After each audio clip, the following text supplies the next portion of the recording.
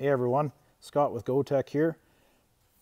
Just wanted to introduce the newest model of our HEPAD units.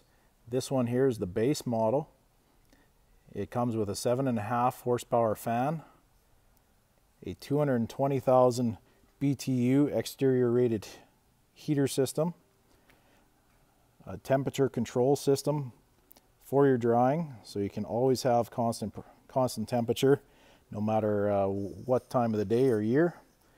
Uh, we also have a static pressure air gauge so you can fill that bin up uh, as high as the pressure allows you to.